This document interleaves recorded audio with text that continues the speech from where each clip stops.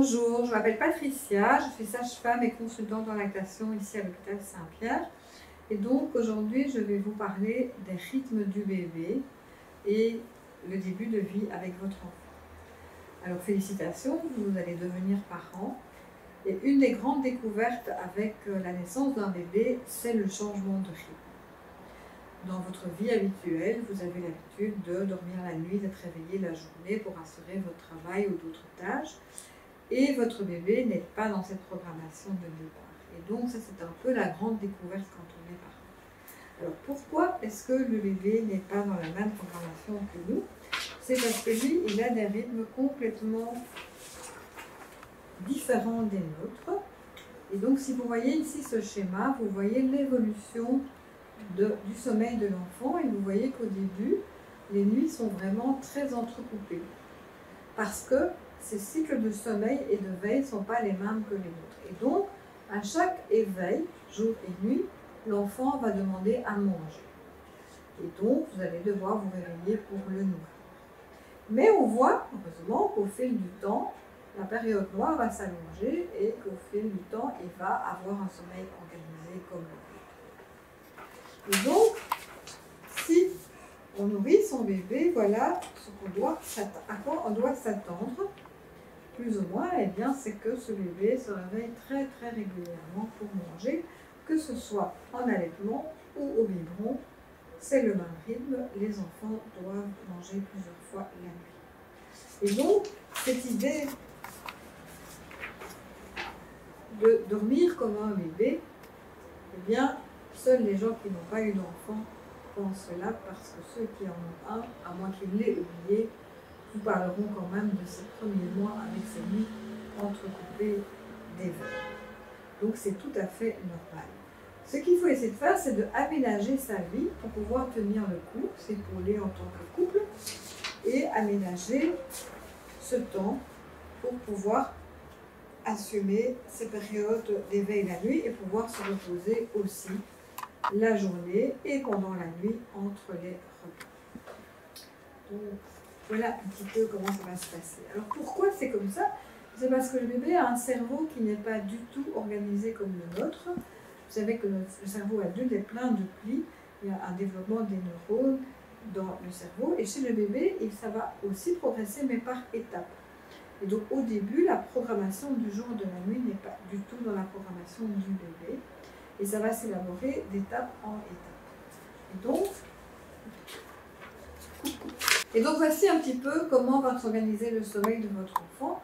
Vous voyez qu'au début, ben, il n'y a pas beaucoup de wagons au train et qu'à l'âge adulte, il y a beaucoup plus de wagons. Et donc c'est une évolution par étape. Et donc ce qui est important au début, c'est d'organiser sa vie pour pouvoir vivre cette période. Donc, Dormir la journée est un apprentissage que vous allez faire. Dormir quand le bébé dort. Et ça, c'est vraiment très important, surtout les deux premiers mois.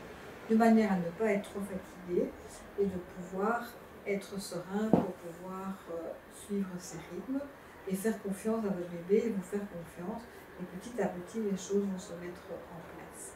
Alors pour les papas ou les accompagnants qui retravaillent au bout de 10 jours, c'est un peu plus difficile évidemment à ce moment-là, bien, il faudra voir comment aménager le sommeil pour la personne qui va aller travailler, si on fait des demi-nuits de garde pour pouvoir aider sa compagne, ou si on va s'expatrier de la chambre pendant quelques heures pour pouvoir récupérer, si les week-ends on prend un peu plus pour pouvoir euh, accompagner euh, ce bébé dans ces rythmes-là. Le bébé a besoin de beaucoup de réassurance aussi. Au début, il a vraiment besoin de retrouver des repères de connu. Donc en fait dans le ventre, comme euh, on le sait, il était au chaud, il était euh, dans l'eau. Et donc euh, il doit s'habituer à ce monde extérieur et son déménagement prend plus ou moins 4 mois. Les 4 mois après l'accouchement sont la période qu'on appelle le quatrième trimestre de la grossesse.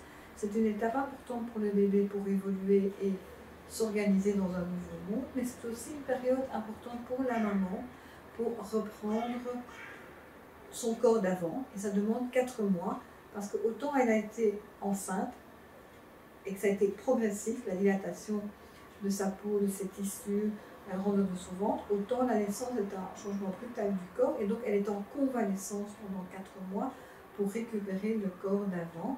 Et c'est une période qu'il faut vraiment respecter et qu'on oublie souvent de respecter. On pense qu'on peut tout refaire comme avant, mais non, ça prend aussi du temps.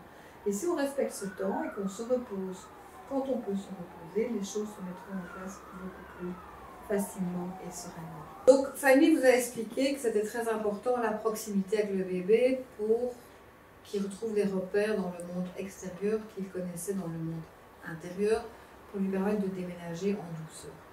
Mais la proximité permet aussi à la maman, au papa, d'observer leur bébé et de répondre aux signes, même dans les signes discrets comme l'envie de téter. On peut à ce moment-là réagir beaucoup plus vite parce que parfois ces signes sont très brefs et puis le bébé dort ou se met à pleurer. Alors, dans l'apprentissage de l'allaitement, c'est un apprentissage pour tout le monde, pour la maman, pour le bébé, pour le papa. donc, en fonction des circonstances de la naissance, de dans quel état émotionnel on se trouve, c'est parfois facile et parfois plus difficile. Et comme tout apprentissage, ça demande un peu de temps. Donc, l'équipe de sage-femme va être vigilante, si votre souhait d'allaiter, que les choses se mettent en route le mieux possible. Et donc, si vous avez un bébé qui n'a pas encore très bien compris comment téter, eh bien, on va vous aider à exprimer du lait à la main. Et donc, euh, l'expression du lait, c'est un mouvement que l'on fait comme ça et qu'on vous montrera. Et à ce moment-là, on peut donner du colostrum de votre bébé à la cuillère en attendant qu'il se vienne un peu plus perfectionné pour téter au sein.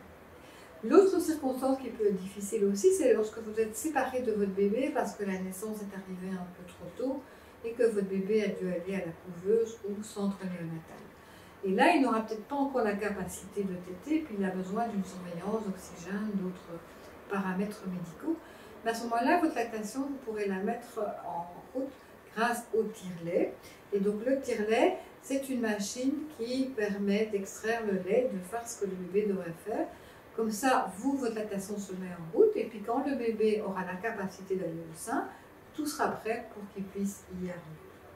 Les choses qui peuvent aussi jouer dans la mise en route de l'allaitement, c'est euh, des outils qui ne sont pas très utiles à ce moment-là. Par exemple, une tute.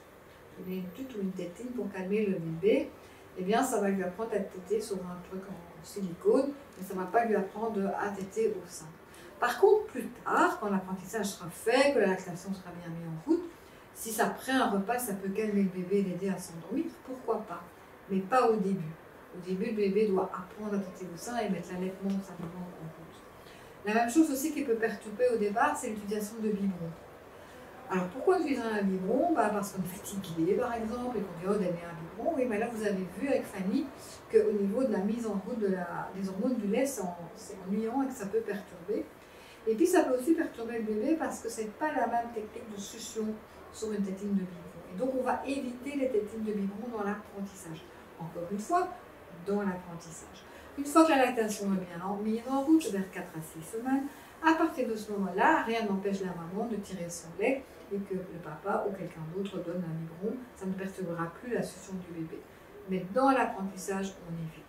Et donc si, par exemple, il n'y a pas assez de lait ou que le bébé a plus de besoins, en attendant l'arrivée du lait, ça peut arriver parfois dans certaines circonstances, si on doit donner un complément à votre bébé, on va réfléchir à l'indication et on va le donner d'une autre manière. À la cuillère, à la tasse, avec une petite sonde sur le sein, différentes techniques pour éviter de perturber le bébé dans son apprentissage. On ne va pas les développer ici. Si c'est le cas pour vous, on vous l'expliquera à la maternité. Et alors vous, comment savoir si votre bébé a bien mangé? Eh bien, il y a d'autres repères que les graduations euh, dans un petit pot. C'est de voir comment votre bébé évolue. Votre bébé, les premiers jours, il va faire des selles très très très noires, un peu comme du goudron, très collant. C'est ce qu'on appelle le méconnu. Et puis ces selles vont changer au fur et à mesure des jours et elles vont changer de, consistance et de couleur. Donc ce qui est très noir, très collant au départ, va devenir plutôt vert, foncé, encore collant, puis ça va devenir un peu comme du chocolat, et puis ça va devenir comme de la moutarde l'ancienne, ou du jus d'orange très épais. Et donc voilà, ça ce sont des signes qui nous disent que la maman est passée de la phase du colostrum, qui est le premier lait, au lait mat au lait, ou vraiment au lait, par le changement des selles du bébé. Une autre chose que nous on va surveiller aussi, c'est la courbe de poids les bébés perdent du poids en début de vie et ça inquiète toujours euh, bah, les équipes et puis les parents. Mais cette perte, elle est physiologique dans une certaine mesure. Le bébé, quand il est dans le ventre de sa maman, il est dans un bain. Donc il a de l'eau dans son corps, il a 70% d'eau dans son corps parce qu'il baigne dans l'eau.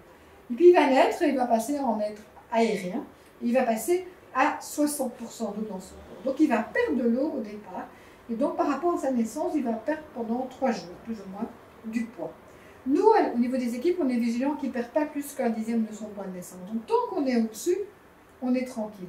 Et pour éviter que cette courbe chute trop bas, eh bien, il faut garder le bébé le plus possible près de soi, parce qu'alors il économise sa réserve. Et vous êtes là, et vous voyez quand il veut manger, et vous donnez à manger, donc vous mettez votre lactation en route. Donc euh, voilà, et il ne doit pas réchauffer son petit lit. Le fait d'être tout près de vous, ça va l'aider à influer sa courbe et puis à la remonter. Et il doit reprendre son poids de naissance en 15 jours, donc on a vraiment le temps. Donc voilà, les petites euh, choses qui peuvent arriver, qui peuvent vous stresser pendant votre séjour à la maternité, mais l'équipe est habituée à suivre ça et à vous guider pour que ça se passe le mieux possible. Je vais vous parler maintenant de ce que c'est que le lait maternel. Parce que ici en Europe, on a le choix entre le lait maternel et le lait en poudre.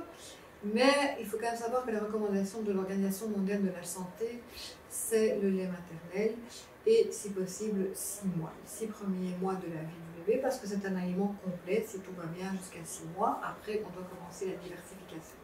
Alors l'OMS s'occupe de toute la planète. Donc il y a des régions sur la planète où on n'a pas d'eau potable, on n'a pas de lait en poudre de bonne qualité. Et donc là, ça a vraiment une incidence sur la santé et même sur la vie des bébés. Maintenant, ici chez nous, on a un service médical euh, au top et donc euh, si on ne met pas son bébé, on ne met pas la vie de, son bébé en danger. Mais le lait maternel a quand même des avantages parce qu'il y a plusieurs phases dans le lait maternel.